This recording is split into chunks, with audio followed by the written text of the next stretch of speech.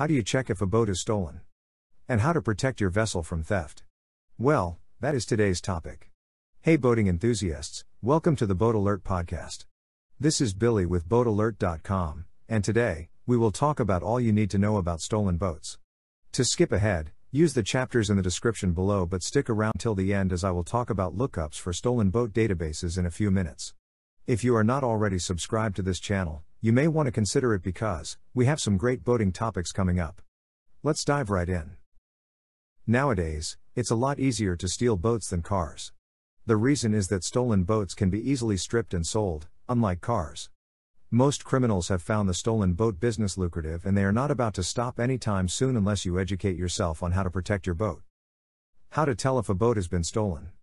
If you buy a stolen boat, it can result in criminal charges against you. The most crucial step to finding out if the boat you are about to buy is stolen is to contact the local enforcement agency of your state, province, or region to check the National Database, NCIC. The National Database from the FBI has been fighting crime for 50 years.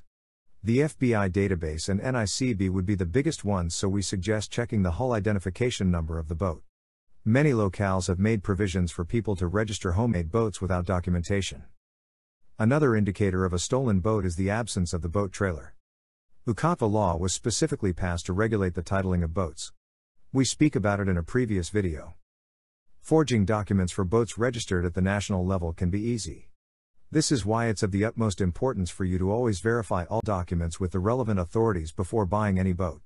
This includes running the boat abstract of title if the boat is federally documented. If you are in Florida and buying a Florida registered used boat, then make sure to search the Florida Crime Information Center PA system by the FDLE. Check the with the RCMP if this boat is reported stolen in Canada. Here are some top ways to look up stolen boats. 1. Do a lien check. 2. Do a police check. 3. Hire a theft investigation company or marine investigators. 4 do a free stolen boat registry search on public websites or a paid search on boatalert.com. 5. Educate yourself about the laws surrounding buying and selling of boats. Make sure you know the differences between titling and registration. Not all states title boats. 6. Make a purchasing agreement.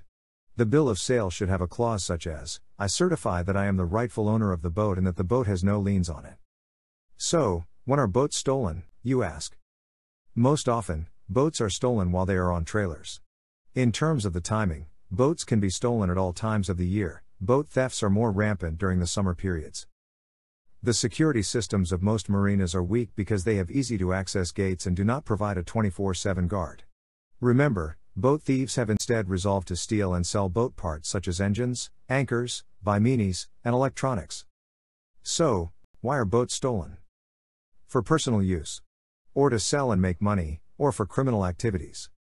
Guard your keys well and use locks to secure it to the dock with a steel cable. Then remove the batteries. Remove expensive equipment and registration papers. Also invest in an effective alarm system and install fuel or an electrical cutoff device. It is super important to document your boat.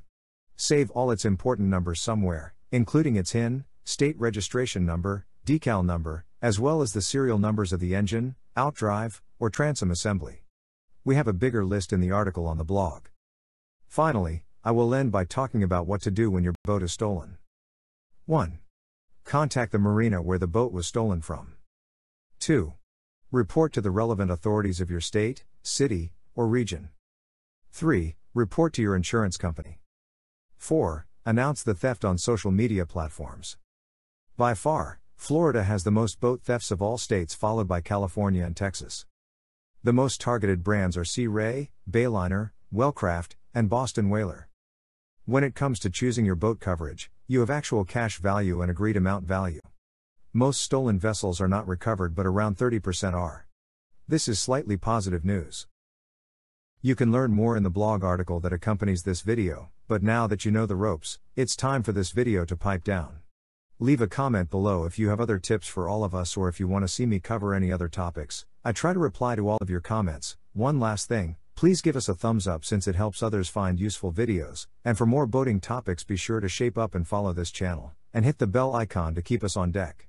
Alright, that's all we have for you today, and as always, I hope to see you next time. Thanks for listening.